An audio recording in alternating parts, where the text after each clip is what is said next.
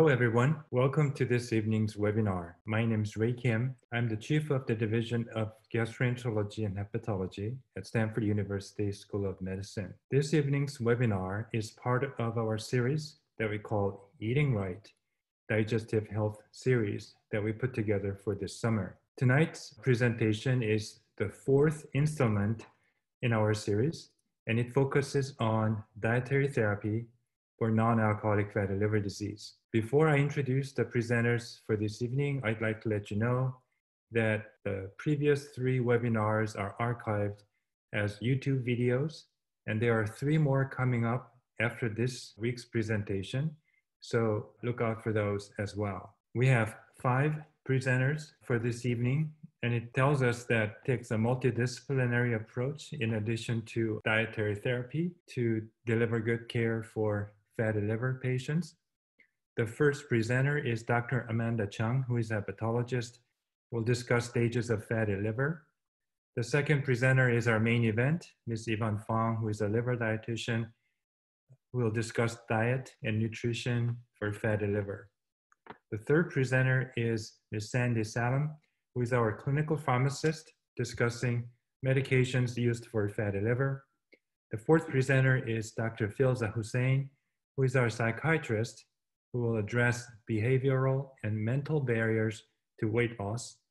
And the fifth presenter will be Dr. Aijaz Ahmed, our senior hepatologist, who put together this multidisciplinary program, so he will discuss that as well. We have prepared uh, questions and answer sessions after the presentations, so look forward to that as well. So without further ado, I'm introducing you to Dr. Aijaz Ahmed. Thank you. Thank you so much, Ray, for this wonderful introduction. I'm Aijaz Ahmed. I'll be your moderator today, and welcome to the Stanford Medicine Digestive Health Series, Eating Right, Healthy Fatty Liver Diet. I'm very excited to present this program to you. This is actually what we do in our clinics. And with that, let's go over the learning goals. We will discuss with you the stages of fatty liver, understand the role of lifestyle intervention on fatty liver disease, learn what and how to prevent, treat, and reverse fatty liver by changing our diet, physical activity, and the role of medications. Finally, we'll get into behavioral and mental barriers to weight loss, and then summarize our multidisciplinary approach that we follow in our liver clinic.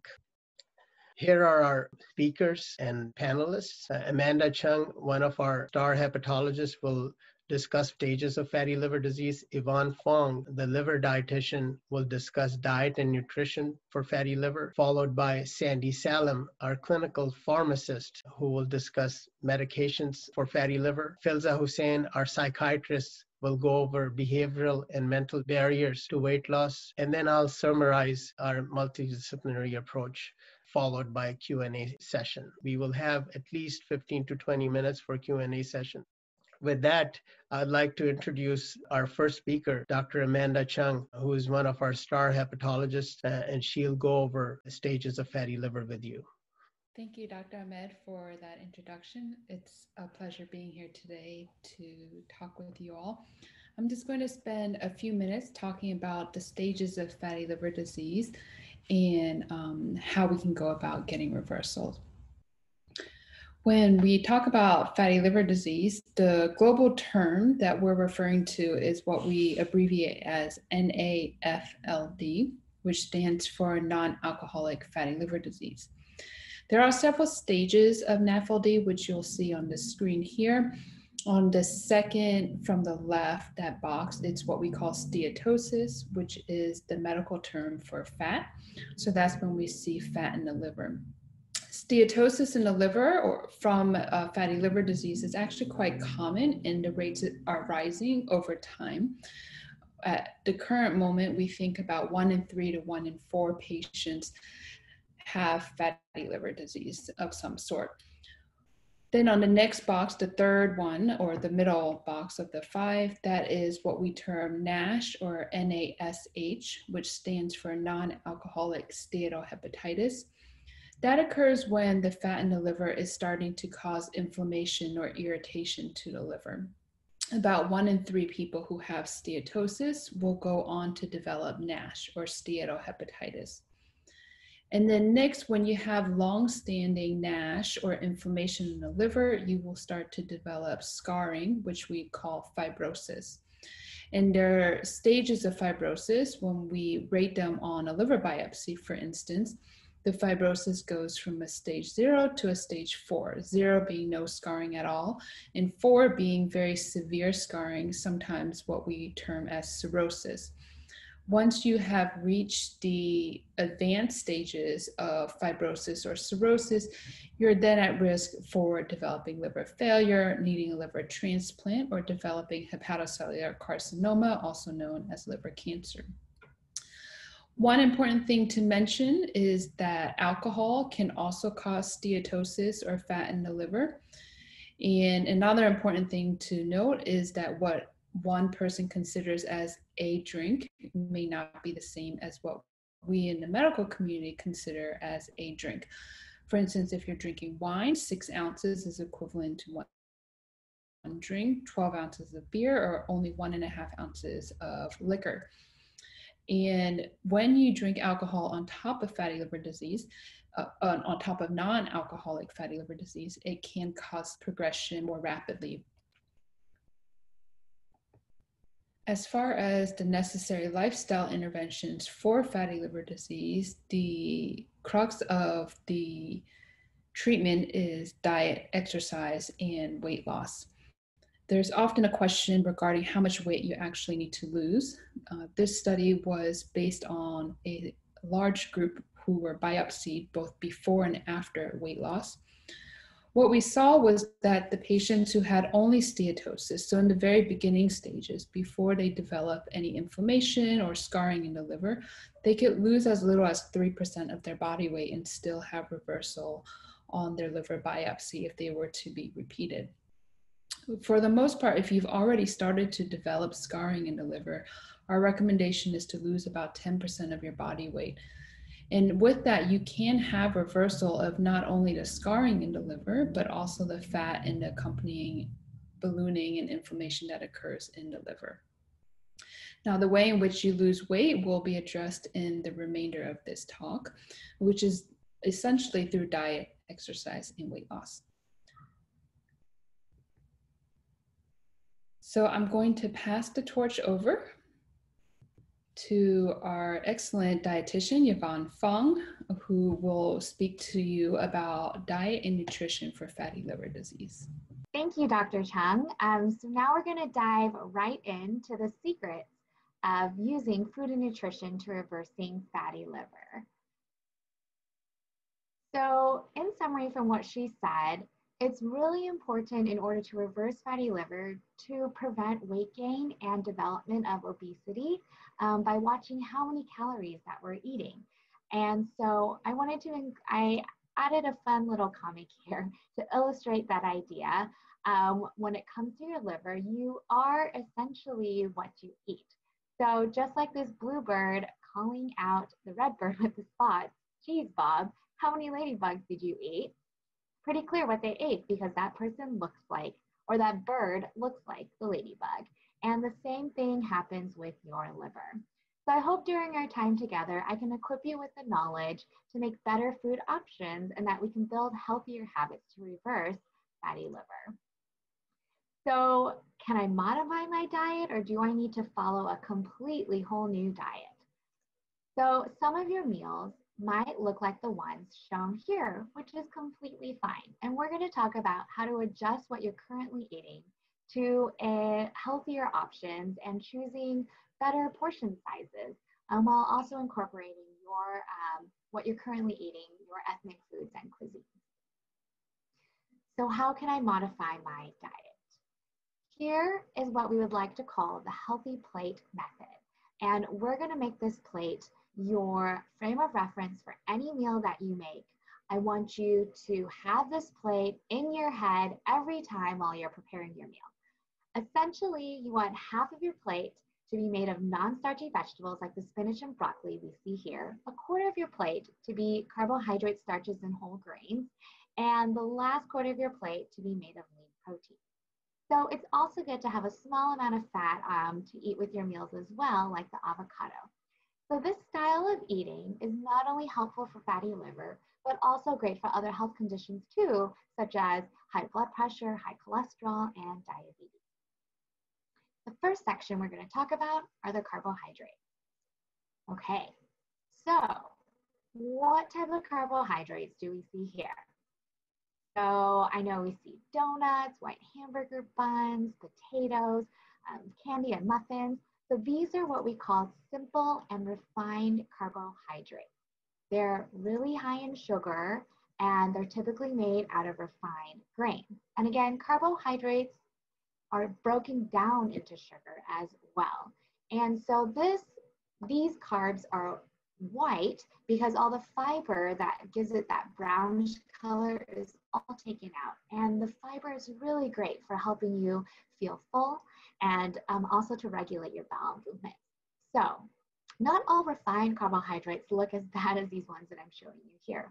Other foods that also count are like um, tortillas, flatbreads, chapati, naan, noodles, pasta, Asian breads, concha or Mexican sweetbreads, tamales or samosas, to name a few. Um, there's also white, white rice, congee, and biryani. So these sugary and refined carbohydrates are highly correlated to fatty liver, liver disease. So instead, we want to try filling up our carbohydrates of complex carbs. And so these are filled with fiber. Um, and some examples here that we can see are like the whole wheat bread, um, the legumes, the beans, lentils, oats. Um, you can do fruit with the skin. These all count as carbohydrates. And so instead of eating, you know, the white bread or the white rice, try to switch over to some whole wheat bread or uh, whole wheat pasta. All right, so how much can we eat? So this is what a typical meal would look like maybe for pasta, and then you would have it with a side of garlic bread. So as you can see here, this entire meal is filled with carbohydrates. And if you remember back to that healthy plate that I showed you, we only want a quarter of our plate to be filled with carbohydrates. So maybe try filling up the other half with vegetables instead of getting garlic bread as your side. So a good amount would be about to aim for a cup's worth of carbs or a quarter of your plate, um, which is about the size of your fist or the size of a baseball if you don't have a measuring cup. Fruit also counts as carbohydrates as well, um, and they are very healthy with a lot of vitamins and minerals and fiber, but they do contain a lot of sugar, and people do tend to eat too much of it because they do think it's good for you. And so we want to try to limit that to about two servings. And one serving is considered um, an apple or an orange the size of a tennis ball, or a cup of chopped up fruit, um, or grapes or berries. And again, whole grain doesn't mean low calories and doesn't mean you can have more of it. Um, there are just the healthier option, and you still want to limit it to a quarter of a plate or about one cup's worth. All right, the next section that we have is the vegetable section. So here we're going to talk about two different types of vegetables. We have the starchy vegetables, and then we have the non-starchy vegetables that contain antioxidants and lots of fiber. Some examples of starchy vegetables that we have here are like the potatoes, the sweet potatoes, the corn, and the peas.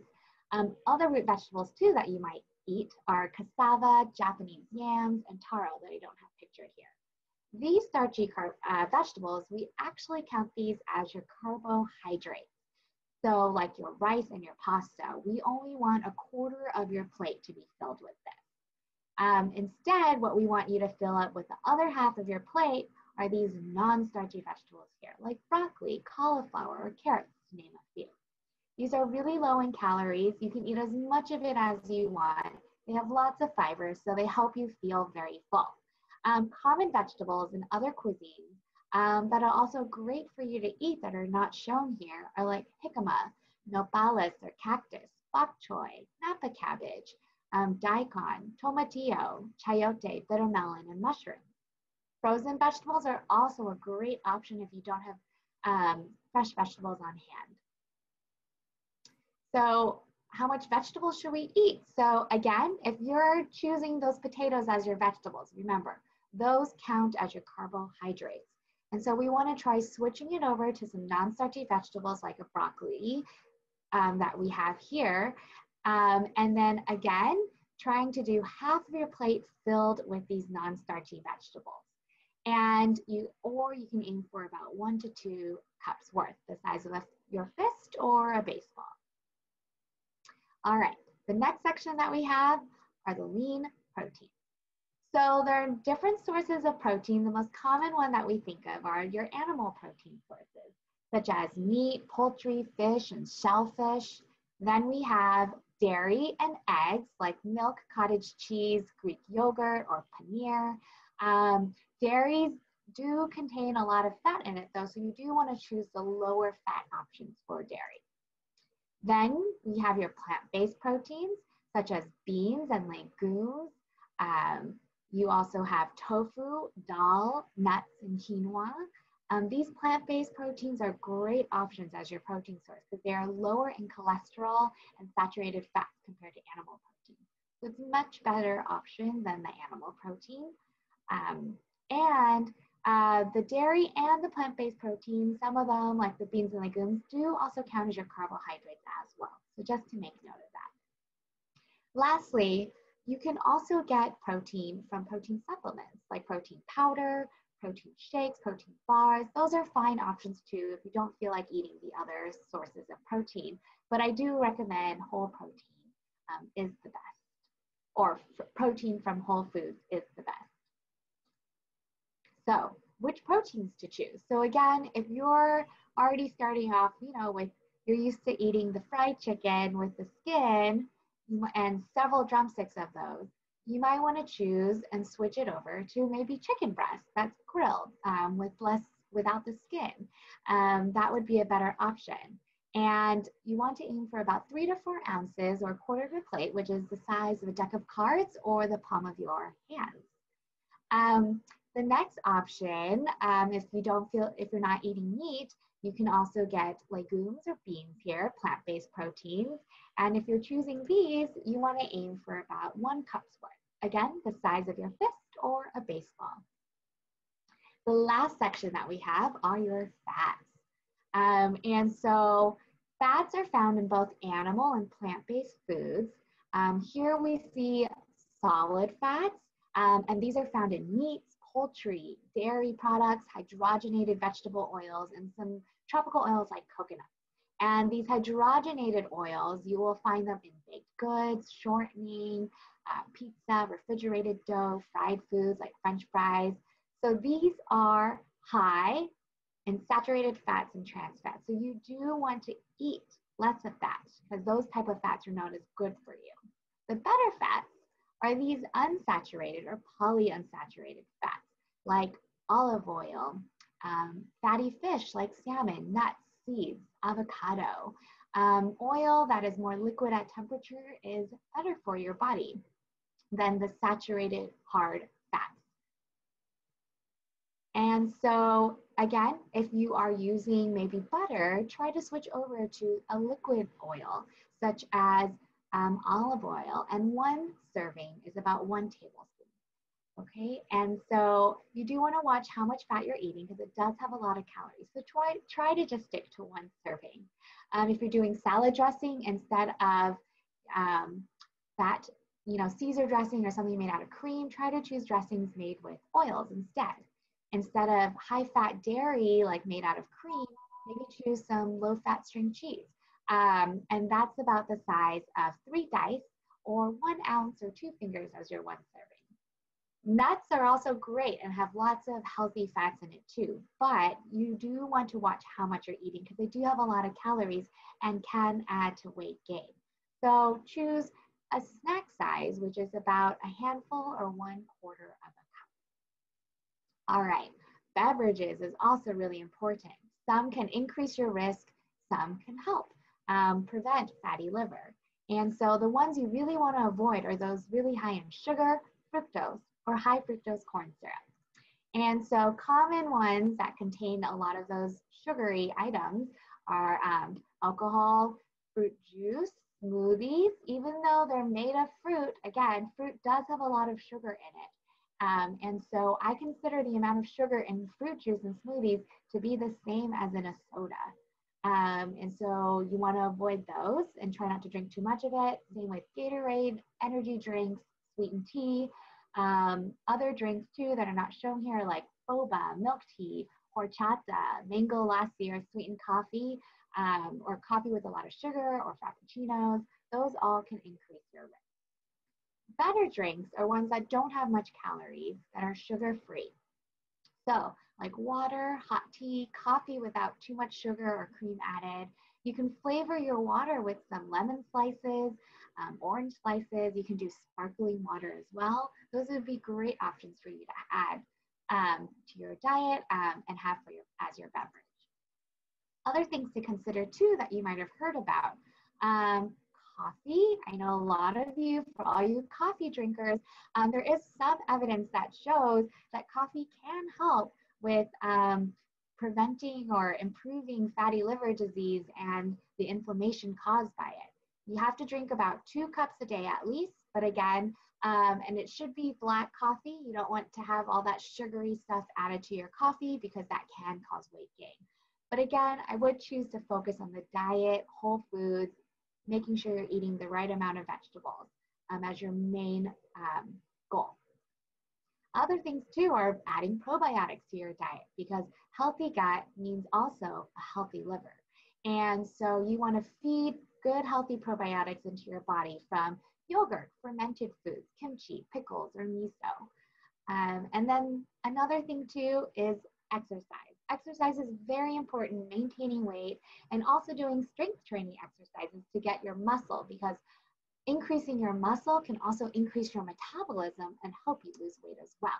So even just 10 minutes a day has been shown to be helpful. So if you're not doing any exercise at all, just go around, do a block around the house after breakfast or lunch, um, and build that habit in. Once you get that habit, you can start increasing exercise um, to your goal amount that you want.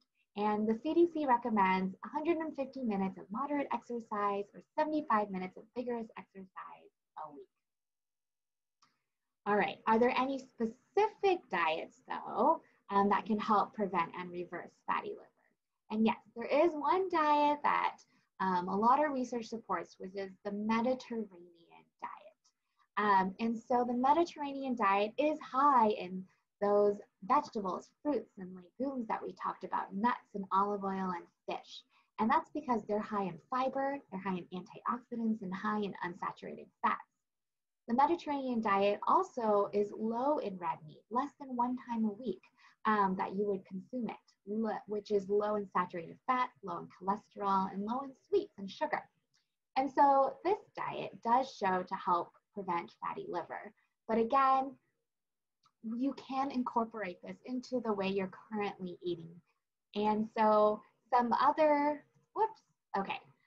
Um, and so there are um, other diets that you might be considering too or heard about, like the ketogenic diet, the Atkins diet, um, or intermittent fasting.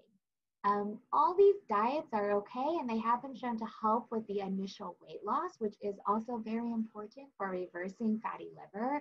But long term, you know, it all depends on can you maintain that.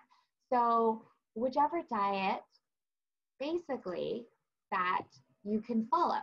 So, a healthy diet is a diet that's easy to follow, that's enjoyable, that's long lasting, that you can maintain.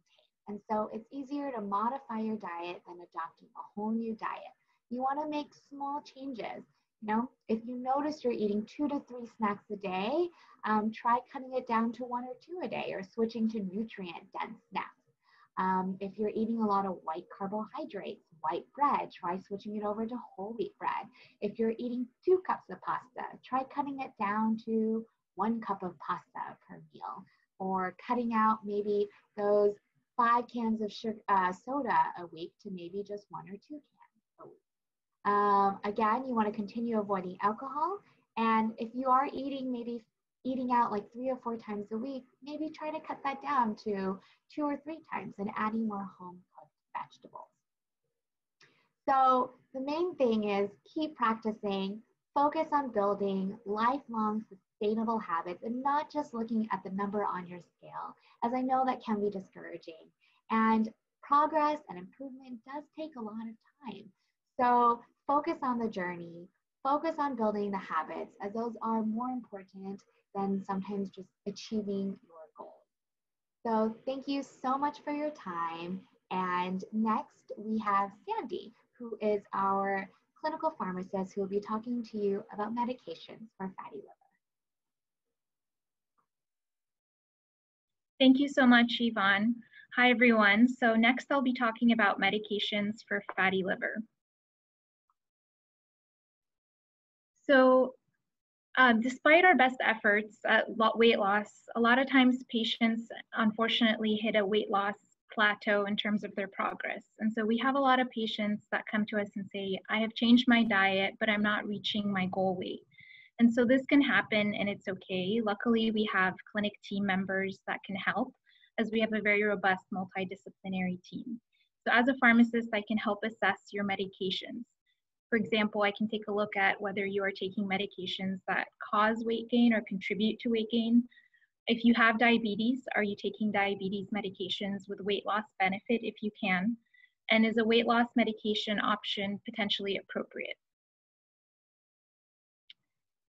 So as many of you know, unfortunately, as of right now, there are currently no medications approved by the Food and Drug Administration for fatty liver. So how can we use existing medications to help with fatty liver disease? One way is by using diabetes medications with weight loss benefit. So luckily, there's several classes right now of diabetes medicines that can have weight loss effects. So if you happen to have diabetes in addition to fatty liver disease, the great thing is, is that we can use these diabetes medicines to leverage their weight loss benefit and ultimately help the liver. Some examples of these medication classes are listed here for your reference. And the great thing is about these medications is they also happen to have shown to reduce risk of having a cardiovascular event, such as heart attacks or strokes. So when possible, we try to assess if you're able to be on these medicines and we try to recommend them to your healthcare provider that manages your diabetes. Cholesterol control is also very important, and this is because high cholesterol is a risk factor for fatty liver. And luckily, there are a group of cholesterol lowering medications called statins, which are very safe to use for most patients with fatty liver disease. Statins help reduce risk of heart attacks and strokes, which we know are very common in patients with fatty liver disease. So it's very important that we not only um, address the issue by treating it with a medication if needed, but that we also screen you for cholesterol on a regular basis. Lastly, weight loss medications are also uh, important to address and see if they're the right option for you. Um, they're indicated when you have a body mass index of 30 or more, or 27 or more with one or more associated risk factor. It's important though that we do not resort to this as a first line option. Lifestyle interventions such as diet that Yvonne discussed is incredibly important and it's important that we you have tried this for at least six months before we talk about weight loss therapy. And the other thing that is important to recognize is that weight loss medications are not by any means the end all solution. They are meant to help you adhere to a healthy diet. So without maintaining a healthy diet as well as exercise, these medications will not work effectively.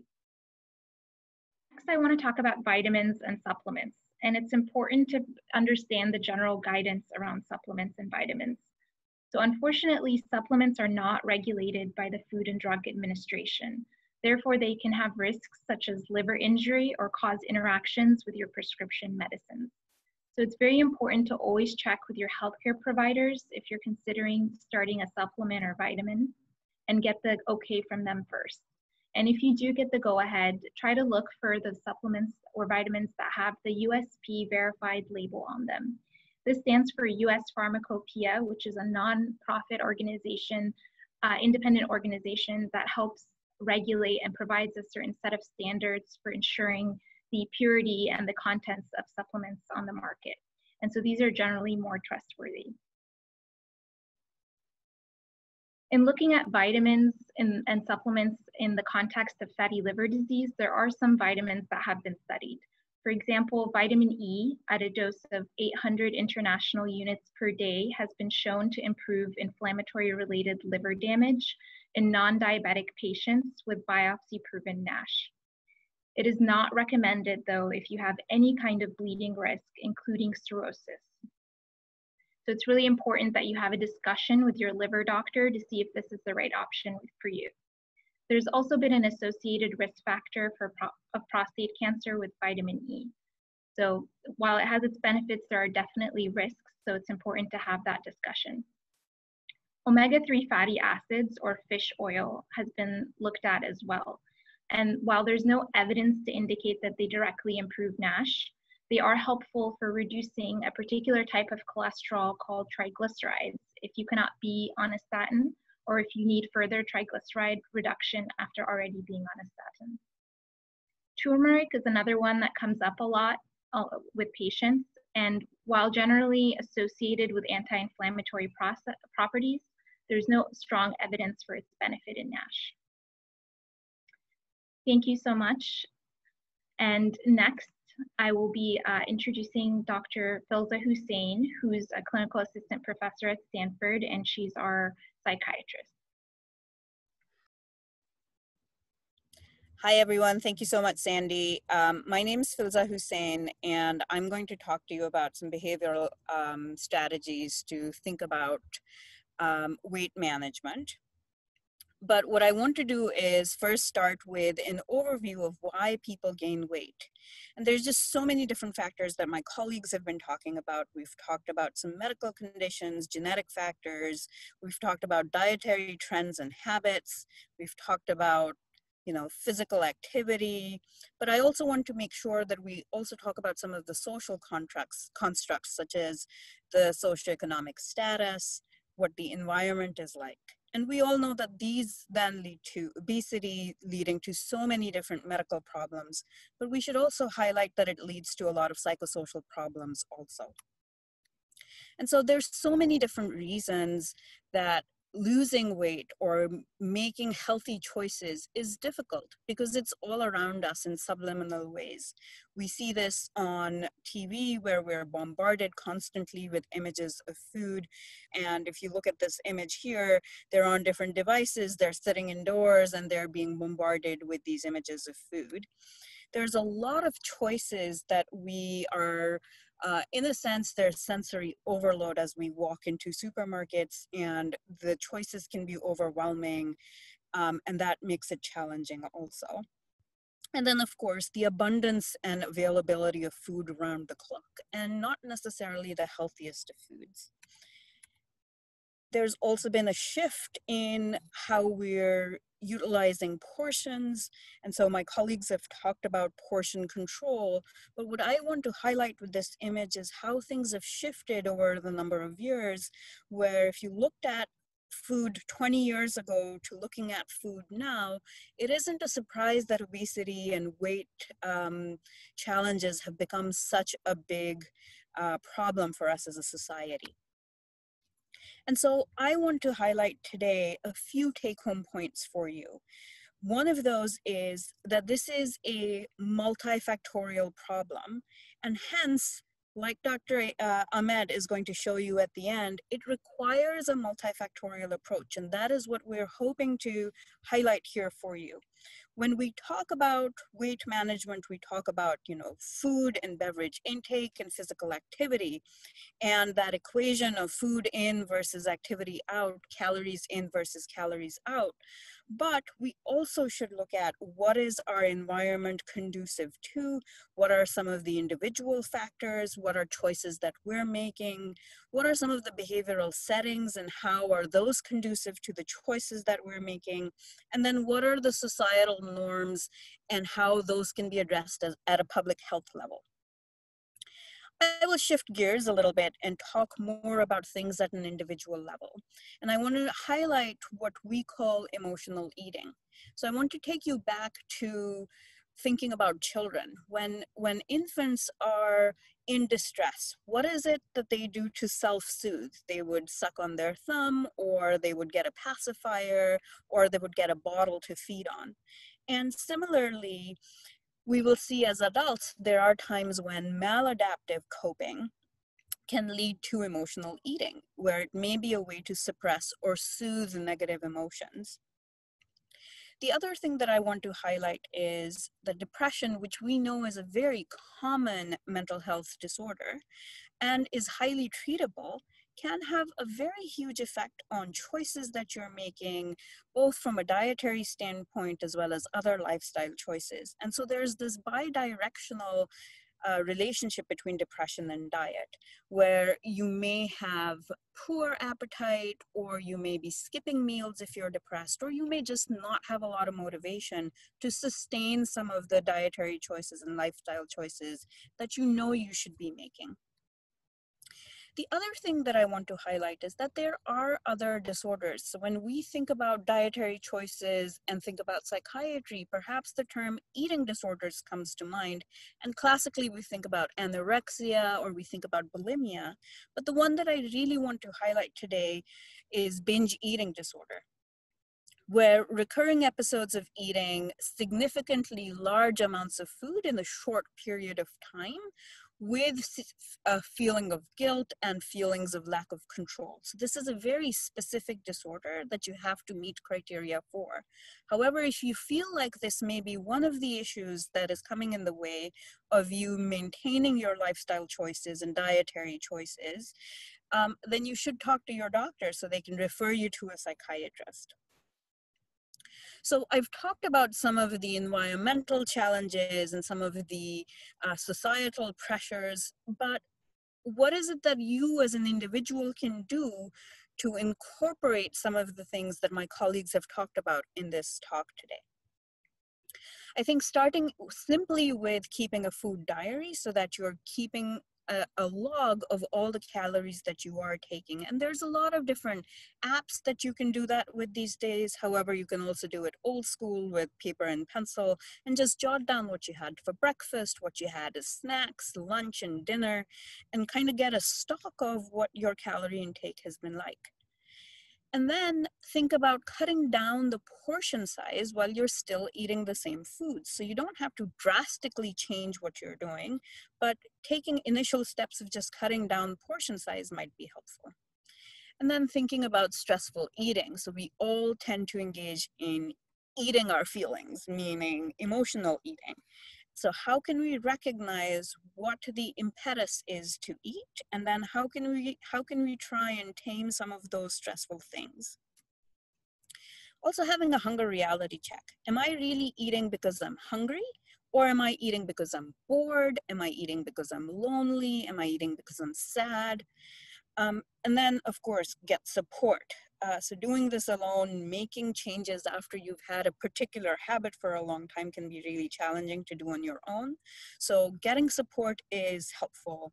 Fighting boredom, making sure you have other activities to bide your time rather than sitting in front of the TV perhaps and just eating and then take away temptation. This one really works for me. So if if there isn't a bag of potato chips or chocolate in the house chances are that when i am bored i'm not going to be engaging in those um, behaviors but also don't deprive yourself because when you have a feeling of deprivation then there is likely to be this oh my gosh i've been missing out. Let me just engorge myself with these foods that i really like. So having treat days or being mindful about the quantities that you're eating but allowing yourself to enjoy something that you enjoy is also important. And then snacking is not necessarily a bad thing, but choosing healthy snacks with a reasonable um, quantities of carbs and, and protein and fats so that you're not overgoing the limit that you're supposed to. And then learn from setbacks. It's okay to have a setback, especially as you're new in your journey to change your habits. What people tend to do is really beat themselves up and say, oh my gosh, you know, I can't do this, this is such a failure, and revert back to previous habits. But I think being kind to yourself and saying, everyone's going to have setbacks. This is how behaviors are changed. Learning from what were the triggers? What caused me to have the setback? What are some things that I can do differently next time? And then going forth uh, on that journey to healthier lifestyle yet again. I do want to give you examples of concrete things that you can do. So watching less TV can be helpful. I showed you images of advertisements on TV and other screens previously. There have been studies to suggest that people who watch more than four hours of TV tend to have more calorie consumption. Do get enough sleep. When you are tired, fatigued, when you are not sleeping well, there is going to be emotional dysregulation and there might be more propensity to eat um, and to self soothe break the mood food relationship. I think that one is really important. Eat when you are hungry, not when you are bored or stressed. Find other ways of dealing with your stress and how we can decrease uh, our stress. And then when you've done everything you can on an individual level, also make sure that you are reaching out to professionals for help there are a lot of distortions that come with our body image. There are a lot of different challenges that happen with stress and taming stress. Um, and so reaching out for therapy where there's cognitive behavioral therapy, there's DBT, which teaches distress tolerance, interpersonal psychotherapy, all of these have been helpful in behavior modification. And so reaching out to your doctors to see what resources you have available and then starting therapy is very helpful. And then most importantly, if there's one take home point that you remember from my talk, that would be treat depression and underlying issues. Talk to your doctor if you think you are suffering from depression, anxiety, perhaps you think you have binge eating disorder. Do talk to them about um, what uh, therapies might be available to you. And I know that there's a lot of concern about psychiatric medications causing weight gain talk to your doctor about that tell them what your goals are. Tell them that you are worried about your weight because there are medications out there that don't have to gain have to make you gain weight. And so once you talk to your doctor you can come up with an individualized plan that works for you.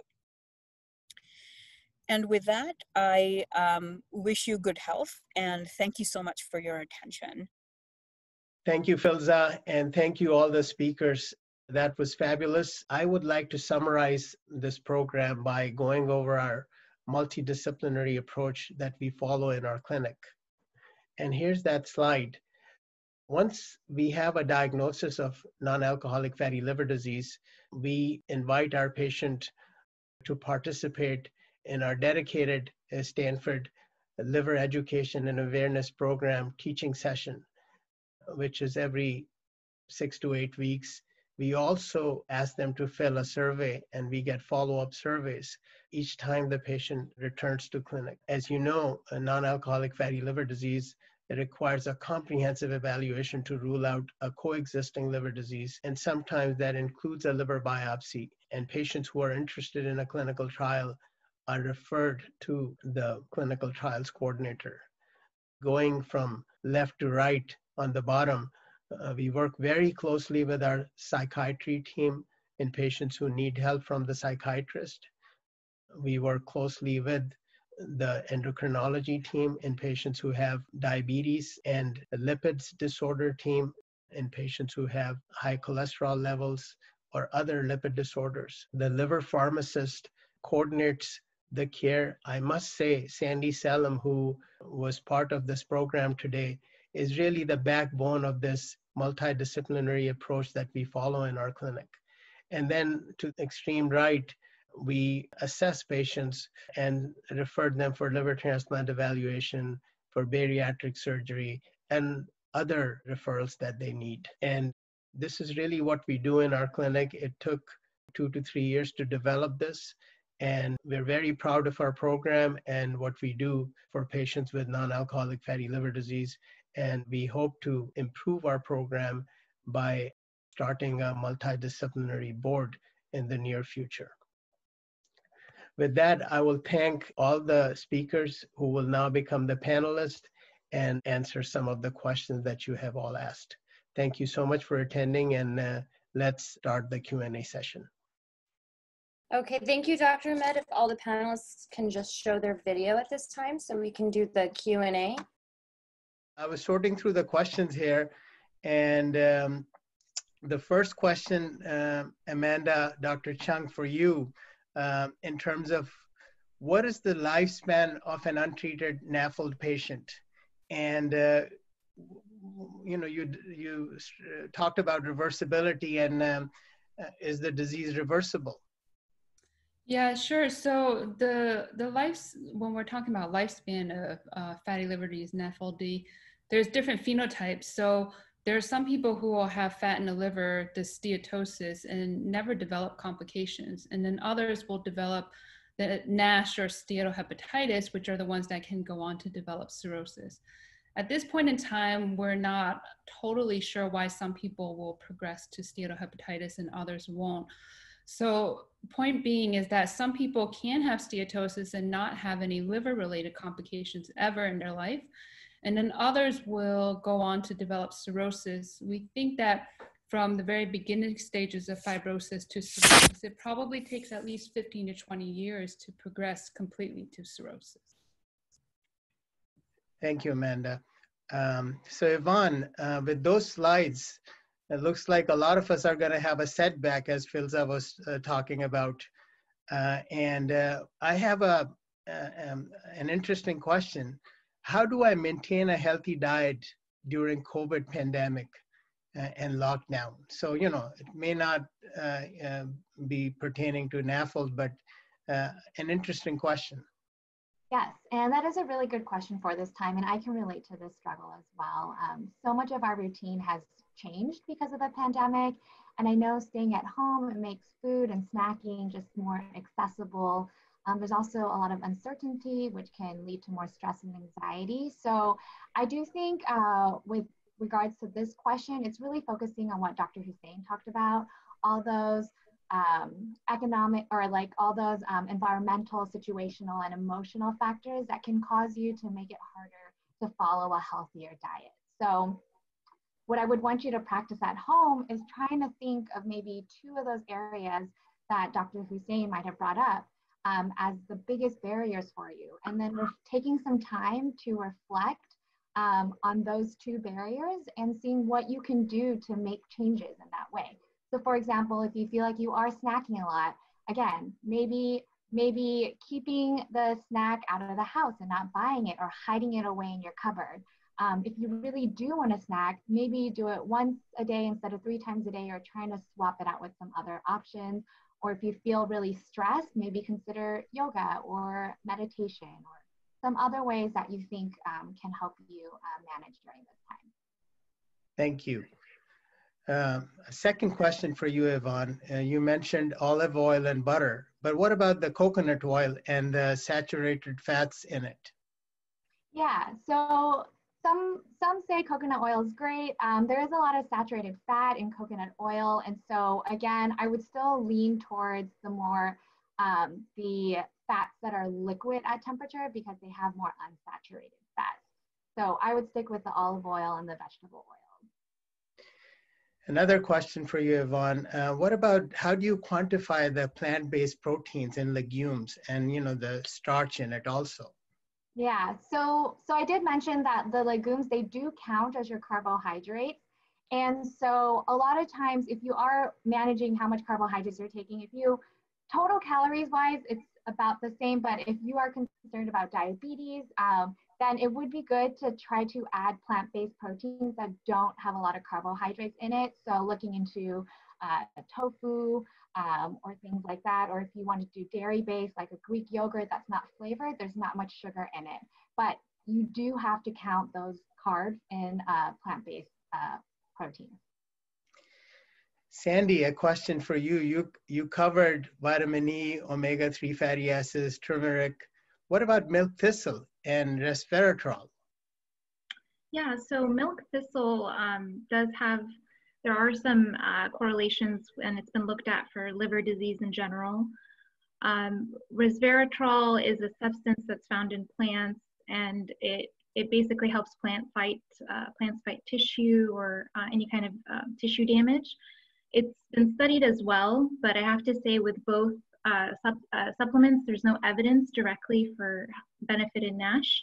And in general, I can't emphasize this enough. Supplements can be very, um, you know, risky. So it's important to uh, always discuss it with your healthcare provider before starting one because a lot of times I find that they sometimes do more harm than good just because they're not studied in any, you know, they're not regulated by the Food and Drug Administration, as I mentioned. Um, so we don't know about what's truly in there, um, what the contents are in terms of inactive or active ingredients. Yeah, when you ask a hepatologist, we get scared when we hear supplements. Uh, and so we usually say no to supplements. Uh, I'll um, ask uh, Dr. Cheung the next question. Um, Amanda, um, uh, Yvonne talked about the Mediterranean diet, but what about the keto diet and Atkins diet, you know, from a hepatology standpoint, just shedding light in terms of what is the risk of this diet to a NAFLD patient? So, although the keto diet and the Atkins diet, they they are very attractive, and you'll hear lots of people say they successfully lost um, a significant amount of weight with these diets. Um, I think short term maybe it's okay, but long term, what I worry about is that these diets really aren't controlled as far as how much saturated fat you end up eating, and we know that's very closely correlated with cardiovascular disease. So we didn't touch on it very much, but in the population of patients who have fatty liver disease, cardiovascular disease is actually um, the greatest risk of morbidity and mortality, even over liver related disease. So I worry very much about people's heart uh, disease or potential for heart disease if they were to follow a keto diet or an Atkins diet long term. Good answer. So the, the related a- question, you know, it, uh, it was asked by Alex in Las Vegas um, he's heard of a new term, MAFLD, that was not in our first slide. And what is that? Yeah, so we are, you know, I think that that term is used, is maybe will start being used to replace NAFLD. Um, and part of the reason is because when we say fatty liver, technically that also includes alcohol related liver disease, and you can certainly have both. Um, so MAFLD is instead of the N as an M, and it's for metabolic um, associated fatty liver disease. And so it is, um, the proponents of this term are mainly that it may be a bit more descriptive and accurate for the people who have associated conditions like diabetes and high cholesterol and high uh, lipids.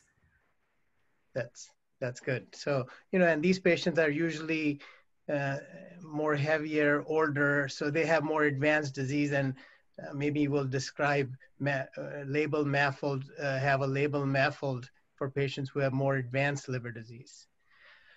Yvonne, question for you. Um, you talked about coffee. I was at a course where it was recommended that we should put olive oil, oil in coffee and drink it. Uh, it'll be even more healthier. What about the green tea? Yeah, so um, there are so many supplements that I'm sure people have a question about. Um, so we didn't get to touch upon green tea. There is some evidence that shows that green tea can um, improve your liver enzyme levels, your cholesterol levels, um, maybe decrease your BMI with some green tea intake.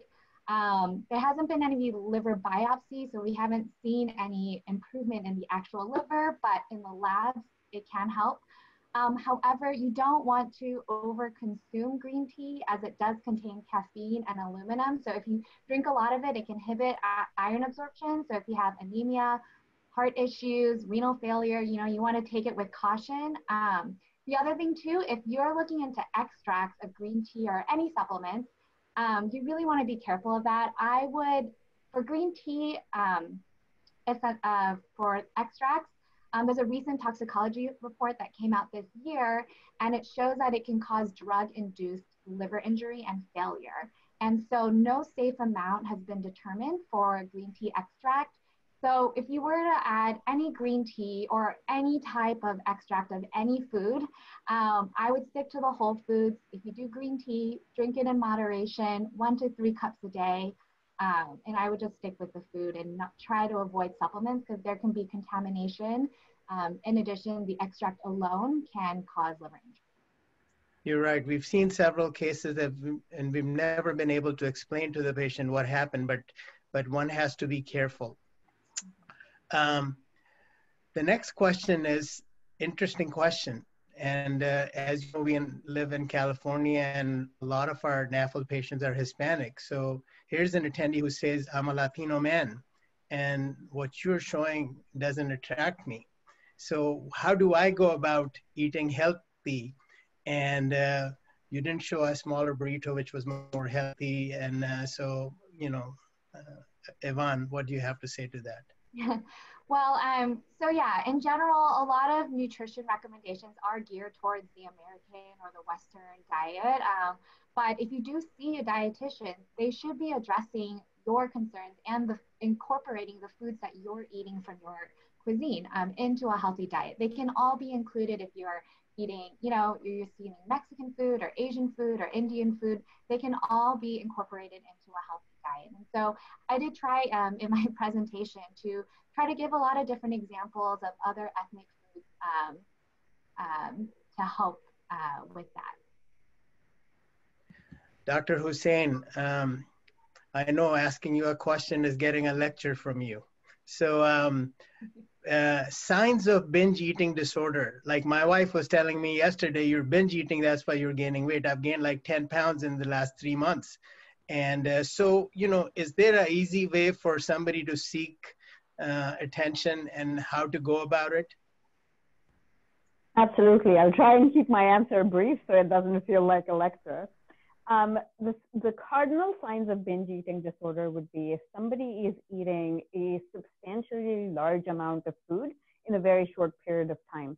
So, say over a two hour period, if you're eating six big burritos and a whole large pan pizza, and you're so food that you're eating more than anybody else would be able to put away, associated with feeling a lack of control. I can't stop eating this. I need to eat this. And also associated with feelings of guilt, feeling like you need to hide when you're doing this, feeling ashamed of this behavior, and, uh, you know, kind of beating yourself up over it, but feeling that lack of control. That specifically would be binge eating disorder. And if you are experiencing that, please talk to your doctor um, because there are medications that might be helpful. There is um, you know, there's evidence base to suggest that CBT, which is cognitive behavioral therapy, can be very helpful in challenging some of these distortions and some of these behaviors. The next question is also for you. Um, depression uh, is associated with weight gain, but the attendee is asking a question that in depression people don't eat.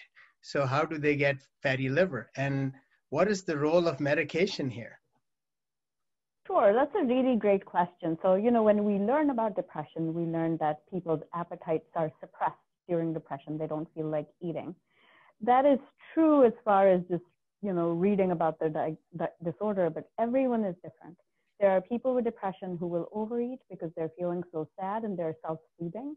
There are people who will skip a lot of meals and then eat um, one large meal there are people when you're skipping meals, again, your metabolic rate is going down. So there's a lot of different changes happening in your body that will eventually lead to more fat stores and hence perhaps lead more to uh, developing fatty liver disease.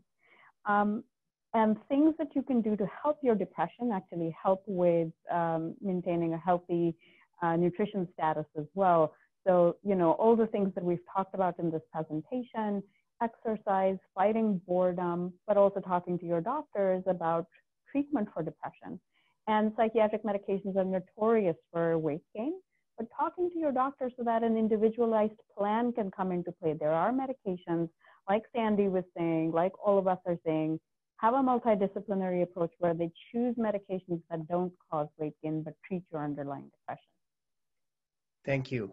Um, it's almost six o'clock, but we lost five minutes and I see 170 people there. So I'll continue to ask questions and, and whoever joined on time and needs to leave can leave, but I like to cover this uh, very quickly and we'll keep going on. Uh, and um, um, uh, Sandy, um, statins, but statins can cause abnormal liver tests uh, is the question. So, uh, you know, and you recommended it, and I, I always tell my patient benefits outweigh the risks. So, um, how do you answer that question? Yeah, so statins uh, have been associated with potential liver injury or elevation in enzymes. However, that risk is, I think, incredibly overblown and um, it's very low. The risk is essentially incredibly low. And so, in the fatty liver disease population specifically, the benefit of the cardiovascular protection much outweighs any risk. There's definitely situations where if your liver enzymes are, you know, if we don't know the, the cause of your liver enzyme elevation, then that needs to be figured out first uh, before we start something that could potentially, you know, affect it. Um, but but if we know that it's because of fatty liver, then starting a statin is, is incredibly safe. As we've done in several cases. Amanda, what do you do with statins and uh, how do you follow a patient? Do you yes, check labs more frequently? Yeah, we know there for a lot of patients there is a period of accommodation where the liver is essentially learning how to process the statins. So I usually try not to actually check the uh, the liver test too soon because that's when everyone starts getting really worried and anxious, and then there's this whole cycle of starting and stopping it again. So I usually wait at least three to six months, which is a decent amount of time to allow the liver to accommodate and to see if that particular enzyme that is used to break down or to metabolize that particular statin. Um, and one important thing to note is that the, while statins are a class of medications for lipid lowering, um, each statin, they, they're not all broken down by the same enzymes. So if you truly have a problem where your liver has not accommodated to that particular statin, but you need lipid lowering therapy, you can always try a different one that is broken down by a different enzyme. Thank you.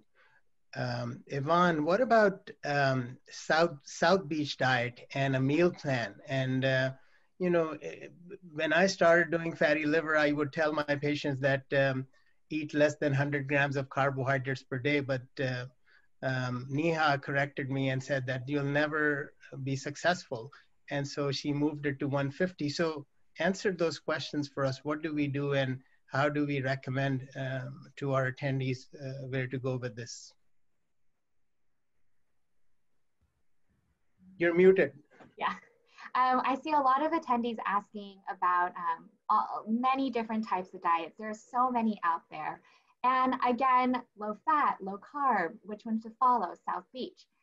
Again, um, I don't want you to think of this diet as like a special diet. I want you to incorporate the you know, the healthy plate method that I talked about, um, making small adjustments with what you're already doing to try to focus on eating more vegetables, being more plant based. I don't want you to focus on high carb or low carb, but choosing um, complex carbs over refined carbs. I don't want you to focus on fat versus carbs. I want you to focus on unsaturated fats versus saturated fats. So yeah, the my recommendation is you don't need to follow any specific diet. Um, I think just focusing on general healthy eating um, because the plate that I showed you leads to moderate amount of carbohydrate intake, a focus on lean protein, and higher intakes of vegetables, and that is beneficial um, and for all body types and weight and everything. Good. Um, the next question, uh, Amanda, for you, um, in terms of based on severity of liver disease, uh, we're not talking about a statin uh, patient, so somebody who's on statin. How do you follow them? How often do you get labs? How do you uh, decide when you're going, going to get an ultrasound? And, and what's your way of uh, monitoring the patient? So it, it probably depends on how much fibrosis or scarring you already have. So if you already have cirrhosis, the more the most advanced stage of scarring in the liver, you're at risk for liver failure in the future, as well as more importantly, liver cancer. So you need to have labs and imaging at a minimum every six months, um, and imaging of the liver specifically to um, screen for liver cancer. Outside of that group, anyone else who has fatty liver disease, um, if you have the kind of middle stages of scarring or fibrosis in the liver, so let's say a stage two or a stage three fibrosis, it would be really reasonable to reassess for the degree of fibrosis at least once a year. At Stanford, typically what we do is a FibroScan, which is a type of specialized ultrasound that allows us to measure liver stiffness and estimates the amount of scarring in the liver. And because you typically don't have symptoms with fatty liver disease, even with fibrosis or scarring, we as your physicians have to be the one that are screening for it or looking for it. If you have a fiber FibroScan, for instance, that shows fatty liver disease, but shows absolutely no scarring in the liver, so your liver stiffness is very, very low, you can probably go every two to three years on average to have a fiber FibroScan, but it'll be individualized based on what risk factors you have. So for instance, if you have poorly controlled diabetes and or insulin dependent diabetes, you're at a much higher risk for progression. So your provider may choose to order a fiber FibroScan every year. Um, and it doesn't have to be a FibroScan, it's just something that is assessing or estimating the amount of scarring you have in your liver. Another question for you, Amanda. Uh, so, you know, we tore, we just discussed that cardiovascular disease is the number one cause of mortality from non-alcoholic fatty liver disease. So what about the protective role of alcohol use? And who do you allow, who you don't allow? And uh, I usually tell my patients there's no minimal safe level. So, but uh, educate us. Well, we definitely know the unsafe levels. Um, so our our general guidance for everybody with or without fatty liver disease is that if you have no underlying liver disease and no scarring in the liver, most people, um, women can have one drink a day and men can have two drinks a day. And that's keeping in mind that a drink is defined very clearly by the medical community, which we talked about on the first slide. Um, now, if you have underlying liver disease, the progression to cirrhosis can be much more rapid if you do drink alcohol and we really don't know what that safe amount of alcohol is. Um, so our general guidance for anybody with underlying liver disease is to uh, minimize alcohol use as much as possible and certainly not to exceed the one to two drinks a day. Once you start developing advanced fibrosis, so if your provider tells you you have stage two or stage three fibrosis, and definitely if you have cirrhosis, then the guidance would be to just cut out the alcohol completely. Great. That was uh, very well done. So, um, Yvonne, back to you. You know, patients who have fatty liver disease also can have sleep apnea and sometimes have a hard time going to sleep. What do you think about the CBD oil uh, in um, patients with NAFLD uh, who use it to just go to re- relax and go to sleep? Um, you know, actually, I don't encounter this too much, so I don't know if somebody else who want to answer? I, I can talk about that. Okay. Um, this, is, this is Dr. Hussain. So the short answer is say no to CBD oil. And the reason why I say that is we heard about how, you know, we don't know a lot about all these supplements and what the effects are on our different organs. There's recent evidence suggesting that CBD may actually not be very good for your heart. And CBD interacts with the different enzyme systems in the liver um, to uh, affect the metabolism of different medications. If you are somebody who's taking other medications, also the benefits of those medications might not be completely available to you because of how CBD interacts with those enzyme systems. So um, I, I know that it's touted as being natural and it's good for you and it's coming from the earth, but so are so many other things. It's just that we don't have a lot of studies and a lot of data and we're developing those data right now. So if you are able to, and if you do have underlying illnesses, um, I would say stay away from uh, CBD oil. Thank you, Filza, for jumping in. I have a few more questions, and we have 150 people. So, you know, I just wanted to explain one thing. When a patient comes into our clinic with NAFLD, we dance and work around. We're the supporting cast for our dietitian, and um, and uh, when they have a psychiatric disorder, when they have diabetes, when they have a lipid disorder, we bring in those experts and go to them. And um, Sandy Salem, uh, who's uh, our clinic uh, pharmacist, really is the backbone of our whole program, where she helps coordinate all this and contacts the referring physician and we've been very successful. So I wanted to stress, if you look at that um, um, um, uh, algorithm that I showed you, uh, you know, every healthy diet, um, and you know, we do a survey on the patient. We provide them uh, follow up uh, uh, on their uh, follow up visit. We get a follow up survey and we give them input. And we have educational class, which is going to go virtual. We probably have a board and all hepatologists are um, uh, part of this uh, program, and um, and and it's going to be very widespread, hopefully within the hepatology clinic in the next few months, hopefully after the lockdown is over. Now, going to Amanda again, we're, we're jumping to a transplanted patient who asked this question uh, that uh, I had a transplant and um, uh, he's sober now. He's, you know, he's got a good appetite. He's more than six months out.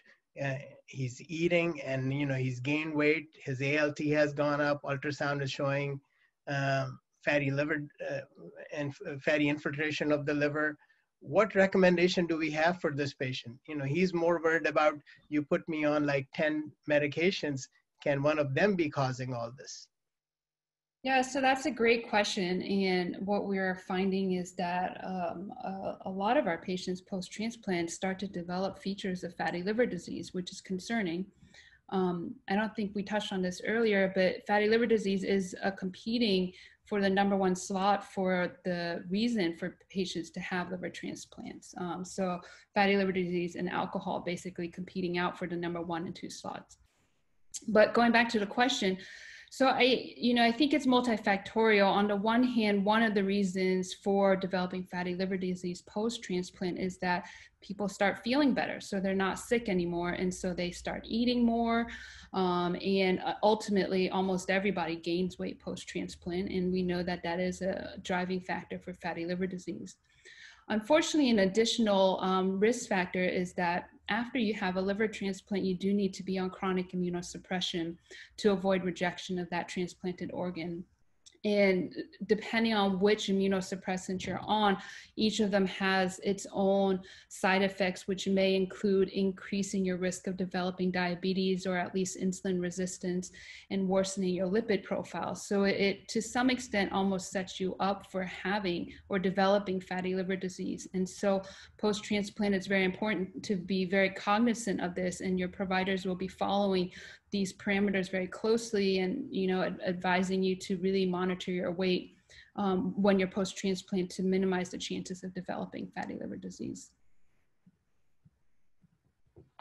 Great, thank you, Yvonne. Um, uh, um, you know, uh, Yvonne's title says liver dietitian, but actually it's liver transplant dietitian. Mm-hmm. We took the transplant out because we didn't want people to get uh, you know, what's going on with this uh, webinar here.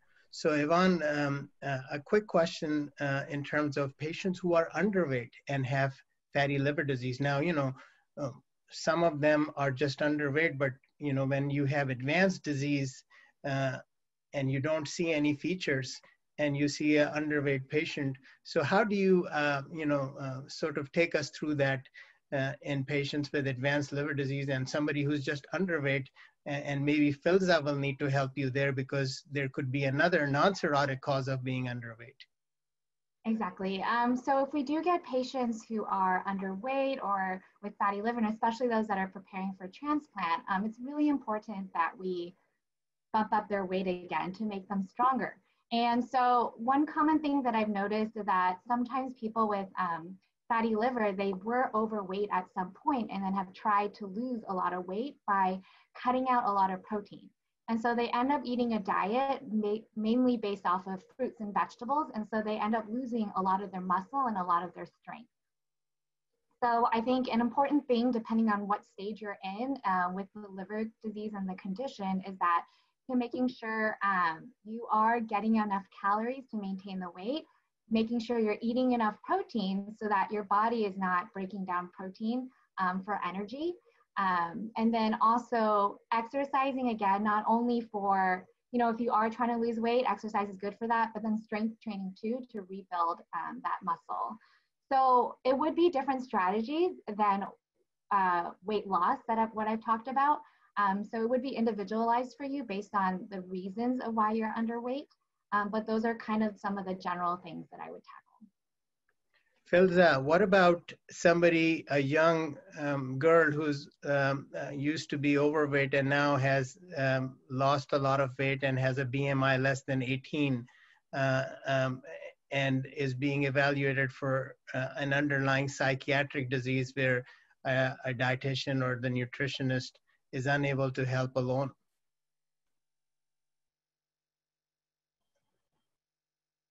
We don't have Filza. Well, I didn't ask her a question, so she got upset and left. I, I'm actually still here. Okay. Um, it seems like I'm having some technical difficulties. Can you repeat the question, please? Um, uh, uh, I, a young, a, a young um, um, um, um, um patient comes to our clinic who has uh, lost a significant amount of weight and used to be heavy in the past, and the dietitian and the nutritionist is having a hard time working with them uh, in terms of, uh, and you know, it's suspected they have an underlying psychiatric disorder. So how, what is your role there, Filza? I mean, I, I think like much like what we've been talking about, a multidisciplinary approach is extremely helpful. And looping a psychiatrist in to think about specifically what are some of the challenges, what are some of the barriers, is there some self-sabotage happening, is there some other uh, coping things that are coming into play, um, are there other trauma and stress related things that we need to think about? So having a psychiatrist and having a therapist on board would be extremely helpful. Great, thank you. Uh, Amanda, what about celiac disease and NAFLD? I mean, uh, you know, how do they go uh, along and what is, you know, how do you differentiate between them? Does celiac disease cause NAFLD or is just part of the differential diagnosis? So it's uh, ce celiac disease is a whole different disease entity. It, it's part of the differential in the sense that both celiac disease and fatty liver disease can cause liver test abnormalities. So oftentimes when we're meeting a patient for the first time and their liver tests are abnormal, even though we may think um, it's probably due to fatty liver because of all the risk factors present, we often do rule out celiac disease just to make sure that you don't have two diagnoses going on. Um, so as we had mentioned previously is that fatty liver disease is quite prevalent in society. You know, one in three to one in four people have fatty liver disease. So it, you can definitely have more than one diagnosis and it's not uncommon in the liver clinic for us to treat people with two diagnoses. There is some data, though the mechanism is not totally understood, but there is some data suggesting that perhaps fatty liver disease could be worsened um, by poorly controlled celiac disease, and that could potentially be due to the decreased gut integrity. But that's still, you know, kind of preliminary data, so um, it's still being investigated. On the flip side, there's also been seen is that if somebody has really poorly controlled celiac disease, they often lose weight and can actually become malnourished. So then once you treat the celiac disease, they start eating more, they regain the weight, and then that weight gain actually lends itself to developing fatty liver disease. So there are some tie-ins to some extent, but they are two separate entities. Thank you. Yvonne, what about this residual sugar in kombucha?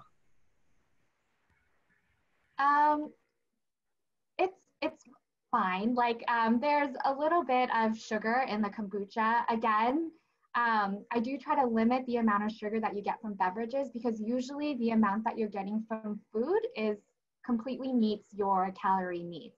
Um, but kombucha doesn't have very much sugar compared to soda um, or juice. So it's it's a fine option. And I know there are questions about probiotics too. And yes, it's not just marketing. Um, there is evidence that um, promoting good gut bacteria um, and having a diverse gut bacteria um, is linked to a healthier weight, and having a non-diverse gut bacteria is linked to obesity.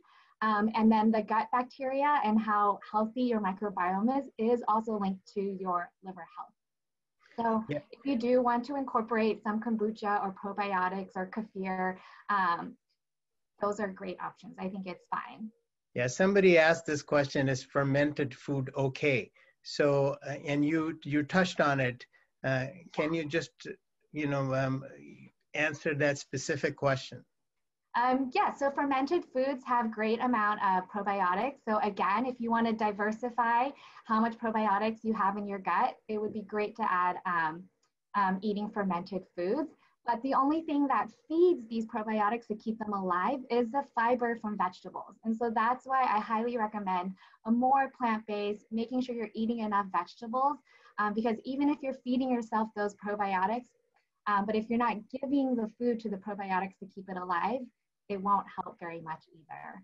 Um, if you're looking at supplements too, um, lactobacillus has the most um, evidence for that as well. So um, products like Culturelle that have that one specific strain um, could be something you could look into as well if you were interested in.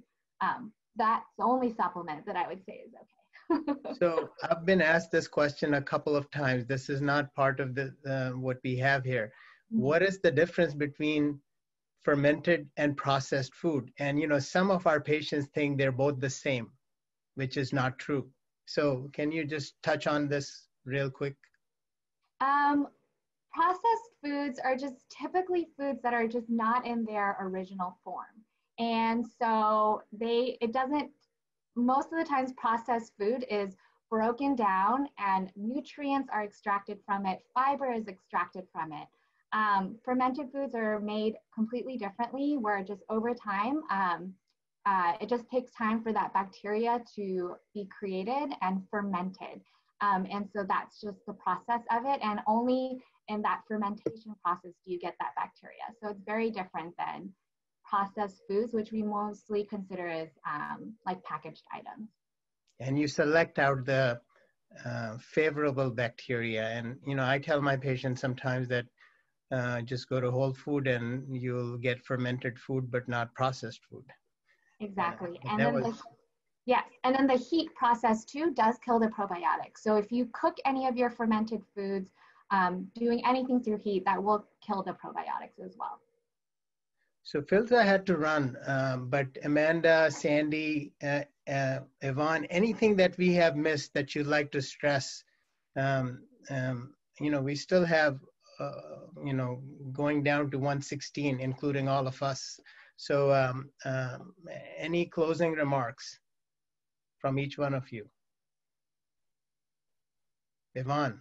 I guess. Thank you um, for the great job. Thank you. And I know everyone wants the magic bullet and the magic diet. And so I'm really trying to emphasize just a general healthy diet um, within those guidelines that I shared. If you want to follow a specific diet, don't follow a diet that cuts out an entire food group. That is not a balanced diet. Um, and if you do really want to follow a specific diet again, the Mediterranean diet is a very well balanced diet that has been shown to help. So, Thank you. Mm-hmm.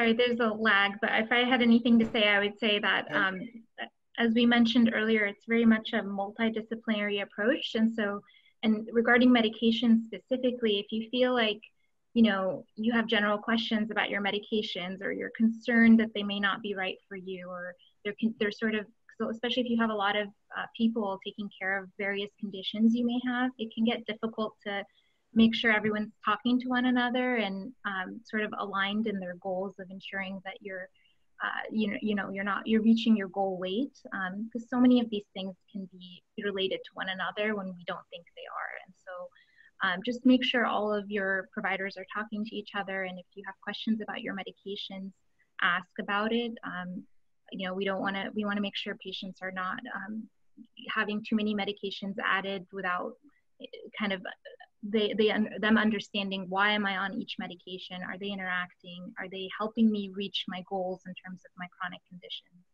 Um, so yeah that's the only thing i would stress is just make sure that you're having these discussions and asking these questions.